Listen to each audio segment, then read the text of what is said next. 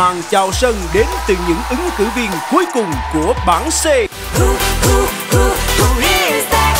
Hãy cho một cái tên. Đã quá Pepsi ơi! I do it, I do it major.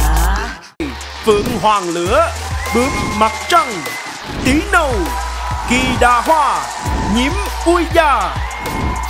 Ẩn mình sau lớp mặt nạ đó sẽ là những giọng ca hàng đầu cùng những bản hit đình đám. Và không thể thiếu những màn giao lưu hài hước. Bạn đã từng sinh hoạt trong một nhóm nhạc đúng không ạ? Có. Như vậy là đúng rồi. Hồi nãy ta không ghi vào trong tờ giấy được là tại vì ta nghĩ chưa ra. Còn bây giờ nếu như bạn trả lời như vậy là ta đúng rồi. Thôi chết rồi em biết là ai rồi. Tí nào khỏi nói nữa em biết là ai luôn rồi đó. Trời ơi. Kỳ Đà ơi, hàng ngày Kỳ Đà giao tiếp với chồng của Kỳ Đà bằng tiếng gì? ngôn ngữ của kỳ đà với bằng cái gì trời Kỳ Đà có đà mà kỳ quá nha. Who, who, who, who is that? Hãy cho một cái tên.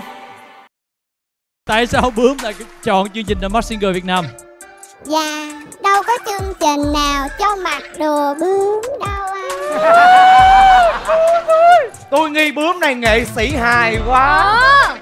Không phải em cố ý nói cái giọng này đâu mà vô in ear nó bị delay Oh my god. Từ nay về sau, ta sẽ gọi ngươi là con bướm delay và số phận của ngươi sẽ bị delete. Đây chắc chắn là thần tượng của em Trời ơi, thần tượng mà đoán sai chắc mắc cỡ lắm thiệt á. Nếu như người này mà tôi sai thì tôi không nghe nhạc nữa. Em mà sai là em bỏ nghề luôn á cái gì vậy Em mạnh hơn tôi luôn hả? Phải như vậy chứ đã cá là phải cá như vậy nha. Anh Chứ Trời bây giờ cá mà không khi nghe nhạc nữa nó bình thường. Bịt lỗ tai là không nghe nhạc. Hãy đón xem màn chào sân của bảng C sẽ được lên sóng vào lúc 20 giờ thứ bảy trên kênh truyền hình HTV2 V Channel và siêu ứng dụng giải trí Beyond. Giấc mơ của mẹ phát sóng 20 giờ thứ hai, ba, tư xem đồng thời trên Beyond